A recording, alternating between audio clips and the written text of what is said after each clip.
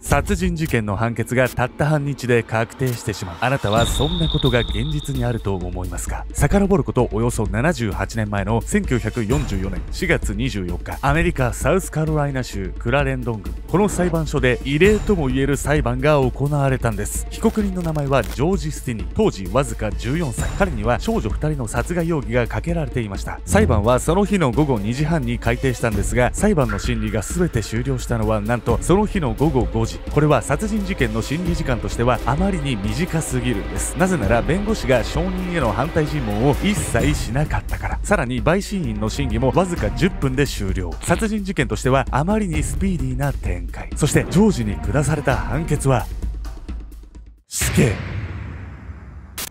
わずか半日足らずの裁判で死刑が確定したこの事件。人の生死を左右する判決がなぜこんなにも早く決まるのか。そこには幼い被告人が知る由もない。アメリカの闇があったんです。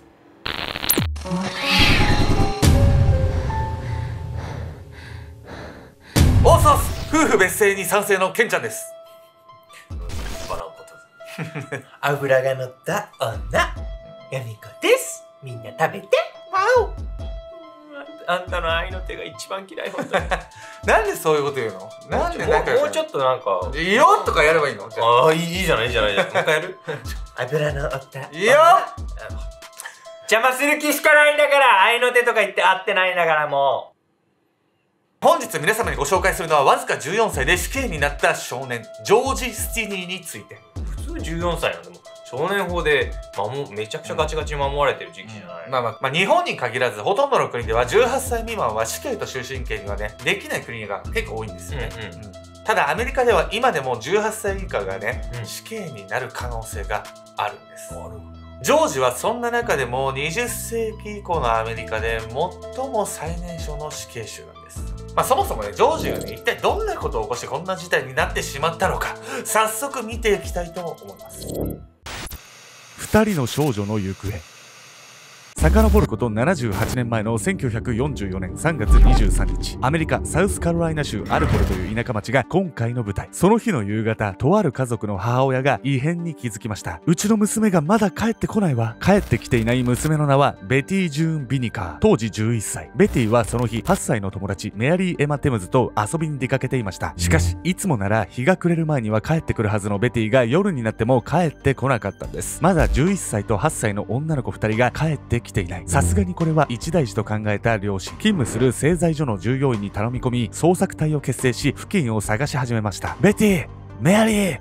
どこにいるんだい？しかし捜索隊の声も虚しくその日2人が見つかることはありませんでした。翌朝も捜索していると7時半頃に事態は急変します。線路沿いにあったぬかるみに小さい子供と思われる足跡が数多く見つかったんです。しかも現場にはもう一つハサミも落ちていました。このハサミは花を摘むためにベティが家から持ち出したものと一致していました。この辺りで何か起きたのは間違いない。そう確信した捜索隊は入念に辺りを探します。すると捜索隊の一人が叫びました。いたぞ！彼が見つけたのは泥水で溢れた溝。そこにあったのはベティが乗っていた自転車。そしてすぐそばには2人の遺体。狭い溝に自転車と2つの遺体がまるで詰め込まれたように存在していたんです。最悪の形で見つかっちゃってんじゃないの？ななんでこんなところに2人はいたの？おそらく隠蔽のためなんです。ん。というのも2人の死因は溺死ではなかったんです。駆けつけた警察が2人の遺体を調べると後頭部には殴打の跡が。もうひどすぎ。どうやらこの殴打が致命傷となっているようでした。このことから警察は事故ではなく事件と判断。早速犯人の捜索を開始します。すると警察はたった数時間後ある一人の男を逮捕します。その男こそ当時14歳の黒人ジョージ・スティニーだったんです。彼は2つの理由で逮捕されました。まず1つは遺体発見現場がジョージの家に近かったから。そしてもう1つはジョージの自宅前で彼と少女たちが話しているのを目撃されていたから。理由が薄すぎない？ちょっと。確かにね、逮捕する理由としては決め手が薄い、薄い、うん。薄い、うん。薄すぎる。うん。ですがね、うん。彼自身の供述によってね、うん。いろんなことが明らかになっていくんです。犯行の一部始終逮捕されたジョージは早速取り調べを受けます。そして彼は取り調べ開始からものの1時間も経たないうちに自身の犯行を自白し始めるんです。そこで事件の全容が明らかになっていきました。自転車を押しながら歩くベティとメアリー。二人はメイポップスという花を探していた。しかしいくら探しても見つけることができない。そこで二人は通りすがりの男にこう尋ねた。この辺でメイポップスが咲いているところを知らない？その尋ねられた人物こそジョージ・スティニー。ジョージは二人を見ると笑みを浮かべてこう答えた。知っているよ。こっちだ。おいで。二人を線路脇の小道に誘導したジョージ。しかしここで彼によからぬ感情が芽生えた。この少女にちょっかいをかけたいな。ジョージが狙いを定めたのはベティだった。しかし一人ならともかく相手は二人。いくら幼いとはいえ騒がれると面倒だ。小さい方が邪魔だな。やるしかないか。そうしてジョージが拾い上げたのは線路脇に落ちていた枕木を固定するための大型の釘。通称犬釘。その犬釘ですかさずメアリーの頭をさあ邪魔者はいなくなった。これで思う存分。そう思ったのもつかの間予想外の事態が。殴られた友達を見てベティが騒ぎ出した。こうなったらしょうがないか。同じ犬釘で今度はベティの頭を結局2人とも殺してしまった。予定外に2人も殺してしまったジョージは証拠隠滅のため自転車と凶器の犬釘。そして2人の遺体を近くの溝に。いやだ黙って聞いてる結構最低なことやってない？そうなんです、うん。もう供述通りだとしたらマジで最低ですよね、しかもジョージの供述通り犬釘もね泥水の中から見つかっているんです結局翌日ジョージは第一級殺人の容疑で起訴。早速報道されたんですがこれに怒ったのは町中の人たち。ジョージが許せない。怒った民衆の一部は何十人にもなって束になり拘置所へ向かいました。拘置所に着くや否や建物自体を叩き壊そうとしたんです。もちろん狙いはジョージ。警察側もこのままジョージをここに置いていたら民衆の手で殺されてしまうと判断。身柄を遠方にあるチャールストンへ移送する騒ぎになったんです小さい女の子が2人殺されてそれは怒るのもわかるんだけどさ相当なんかエネルギッシュじゃない？日本でこんなことになるっていう。まあそうですよね。民衆をねここまでね怒らせてしまったってね結構珍しいでうん。すよね、うん。まあ、事件から1ヶ月後早速ね裁判が開始されるんです。冒頭でもお話ししたんですが改めて詳しく説明します。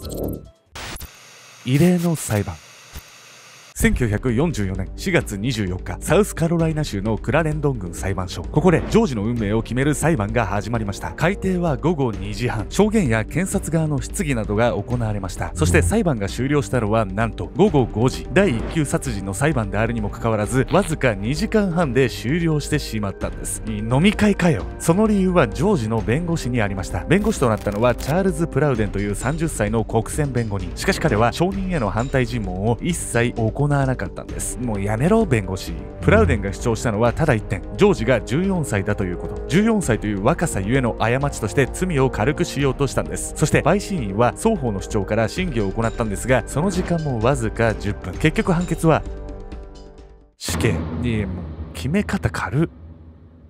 弁護士の主張で罪は軽くならなかったのか。そう考えるメトラの皆さんもいると思うんですが実は当時のサウスカロライナ州の法律では刑事事件においては14歳以上の者は成人とみなされるんです。すなわちこの主張一本でいくのがどっちみち無理だったということなんです。しかもプラウデンは完全に負けたにもかかわらず上訴をしませんでした。こうしてジョージの死刑が確定したんです。いやいくら国選だからって言ってさ弁護士がクソすぎない？ちょっとこれ、確かに。いやいやもういくらなんでもって感じよこれ結局ジョージは死刑になるんですがその死刑方法は電気椅子だったんです。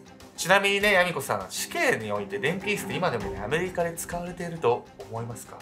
昔グリーンマイルとかでね使われてるの見たことあるけどさすがに今は使われてないんじゃないの？こまあそこら辺ねわからない方もいると思うんで、えーというわけで本日のメトラキーワード電気椅子について電気椅子を考案したのはアルフレッド・サウスウィックという歯科医泥酔した男性が電線に触れて即死するのを見て思いついたといいます。当時の死刑の主流は公主刑でしたが人道に反するということで廃止論が上がる中新しい方法として1880年代から開発されました。動物実験の末1890年に初めて死刑囚に執行され公主刑に代わる死刑執行の一般的方法として広まっていきました。ただ実は歴史上で電気椅子を採用した国はアメリカとかつてアメリカの植民地だったフィリピンのみ。人道的な死刑方法として採用されたものの約90年後の1980年代にはさらに安楽な方法として薬物注射による死刑が普及したんです。現在では今回の舞台となったサウスカロライナ州も含めアメリカの数州でしか使われていません。アメリカだけだったのね、まだいろんな国で使われてるもんだと私は思ってたよこの電気椅子が使われなくなった背景には、まあ、その方法のねえぐさというかねもあるんですけど、うん。ジョージがね使われたね電気椅子っていうのはもっとやばいやつだったんですよ。えー、何それ？事件からわずか81日後の6月16日午前7時半サウスカロライナ州刑務所。14歳のジョージ・スティニーは死刑執行の日を迎えた。独房に差し込む朝日で目を覚ましたスティニーは自分の置かれている状況を幼いながらも再認識。なぜ俺は？時間だ。出ろ。はいそして身長が155センチで体重はわずか40キロしかないスティニーは電気椅子に縛り付けられる。そこに立っていたのは最後の言葉を伝えるために面会を許されていたスティニーの父親だった。彼にはあまりにも大きすぎる電気椅子に縛られた息子にこう話しかけた。何か言い残すことはないか。首を横に振るスティニー。そうか。死刑執行人はスティニーにマスクをつける。午前8時死刑執行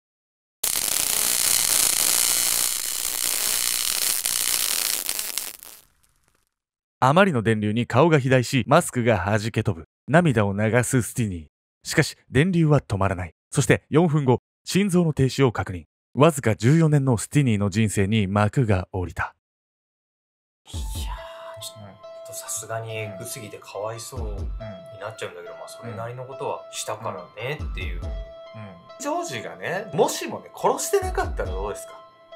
何そういう可能性があるってこと？しかもそのことが明らかになったのが今から数年前のことだったとしたら皆さんはどう思いますか？マジで70年後の真実ジョージが死刑になったからといって事件は終わっていませんでした。たとえジョージが亡くなっても許すことのできない人々が今度はジョージの家族に怒りをぶつける可能性があったから家族は報復を恐れ町から引っ越さざるを得ませんでした。しかしジョージの家族たちは疑っていました。本当にジョージが殺したのかと。実は死刑判決のニュースが出た際に全国各地からジョージの死刑撤回を求める除名嘆願書が州知事のもとに集中。全米黒人地位向上協会各地の協会組合を中心として子供を処刑にするなんてヒトラーと一緒じゃないかと猛然と抗議したんです。しかし当時のサウスカロライナ州知事は堅くなに受け入れませんでした。というのも当時のアメリカはまだまだ白人による黒人差別が横行していた時代。事件が起こったある頃においても黒人への差別意識が根強く白人と黒人の居住区域も区別されていました。そもそもジョージが拘置所にいた時に襲われそうになったのも白人による黒人が白人の子供を殺したという怒りが大きかったというんです。そうした背景から考えてこの事件も黒人であるジョージが罪をなすりつけられたのではないかと家族は考えたんです。確かにそうだとしたらちょっと家族は悔しいんだろうけどさ、まあ、その証拠はちゃんと他に見つかるわけじゃん。ジョージのね家族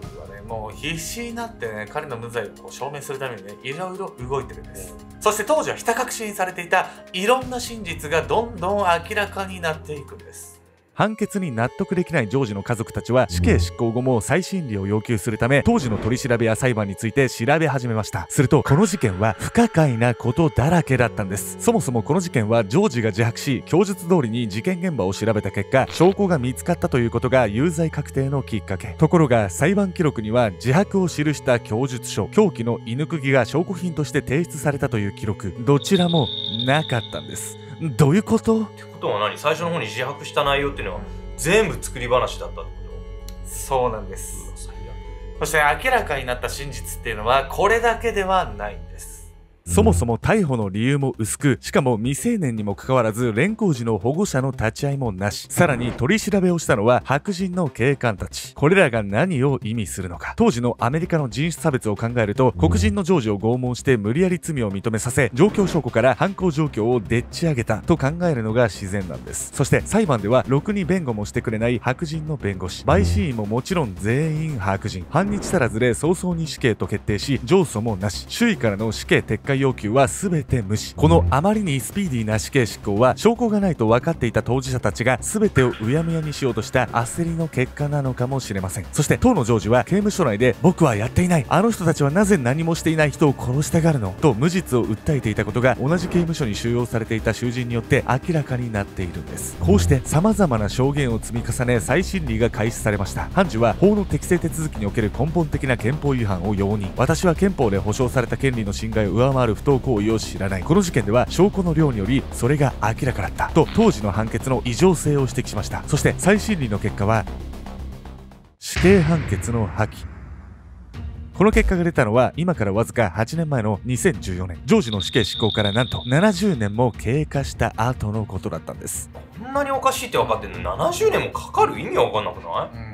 ジョージはね14年しか生きられなかったんですけど、ジョージの家族のね無罪を証明するために、まあ、ほとんどの人生をねい使っちゃったわけじゃないですか、ね。彼らもまたね被害者なんですよ。うんうん。うんそう言えるわね。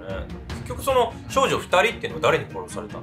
それもね明らかになっていくんですこの事件は注目度が高かったため多くの人物によって調べられています。その中でとある真相にたどり着いた地元の歴史研究家がいました。時間をかけて入念な調査を行いついに犯人を特定したんです。めちゃくちゃすげえな。この事件の犯人は地元アルコルでは著名な白人一家でした。すでに亡くなっていて犯人は死に際に事件のことを家族に告白したそうなんです。しかもジョージの裁判の際に犯人の家族の一人が陪審員に選ばれていたため罪をなすりつけるためにジョージを起訴するように依頼していたんです。どんな確率それすげえな。そう全てはこの人物の思うがままに動いた結果でジョージは運悪く濡れ衣を着させられただけだったんです。一人の人間の権力により10分の判決で死刑が確定しそれをひっくり返すのに70年もかかったこの事件。二度とこのような人種差別による不公平な裁判が行われないことを願うばかりです。